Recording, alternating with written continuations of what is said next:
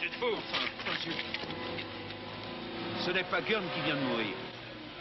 Le coup est tombé, le visage n'a pas pâli, et s'il n'a pas pâli, c'est qu'il était maquillé. Comme celui d'un acteur.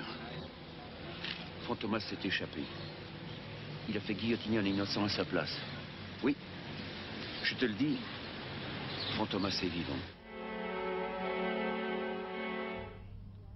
Ne manquez surtout pas trains du diable, donc le, numéro 2 de Fantomas ce soir sur Antenne 2 à partir de 20h35.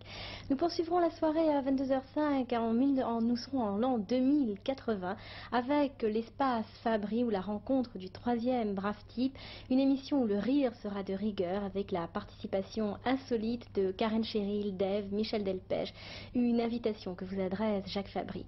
Et puis à 23h05, nous ouvrirons un nouveau carnet de l'aventure proposé par Pierre-François Desgeorges, un affrontement entre l'homme et la nature. Je vous souhaite de passer une très très agréable soirée en compagnie de Dorothée et dans quelques instants vous pourrez voir l'émission Jeu d'Armand Jameau, des chiffres et des lettres.